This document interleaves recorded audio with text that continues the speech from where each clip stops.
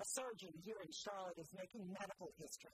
This week, he became the first in the state to perform a new procedure to treat aneurysms. It's less invasive, less risky, and cuts recovery time to just three days instead of three weeks. They said they needed to do something about it because it was likely to rupture within the next two to three years. Mary Klaus is back to normal just four days after doctors took care of her brain aneurysm.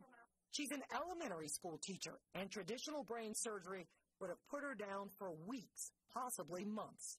We think you're born with a weakness that gets bigger over time, and at some point it's that balloon that getting a little bit bigger, a little bit bigger, a little bit bigger. If an aneurysm ruptures, it can cause significant disability or death. Charlotte neurosurgeon Joe Bernard performed a new procedure on Mary. It's uh, basically a new device to try to divert flow away from an aneurysm. It's called a pipeline embolization device, or PED.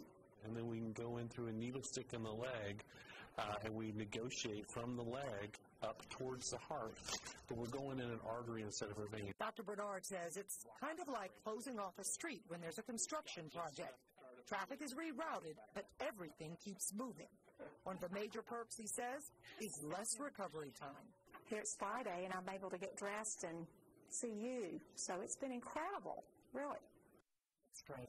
Dr. Bernard estimates about 5% of the population actually lives with a brain aneurysm, and surgery is really only needed in a small amount of the most severe cases. Pretty amazing. It's amazing. Yeah. Through the leg. Through the leg and get all the way up there. I, I know I've heard that before, but I still can't yeah. So another hot weekend, maybe a little rain for everybody on Sunday. Yeah, I think we'll see a few showers tomorrow in the mountains and foothills, and then the rest of us will see better rain Sunday. So that'll give us a little bit of relief. It's a beautiful night, you know, if you're out there doing the booty loop, temperatures are finally giving us a bit